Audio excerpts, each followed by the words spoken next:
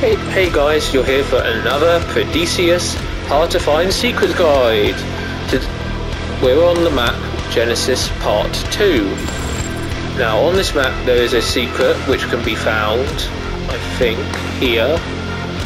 And it is locked behind a grate, and there's a um, an ore in the middle. I've already collected, so it's not there, but there is uh, two ammo.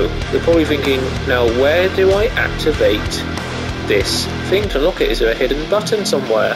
Yes, there is. The button can be found just underneath this rock bridge.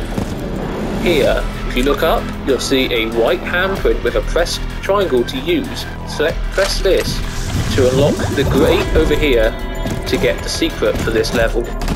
I hope this guide helps, and I'll see you again soon.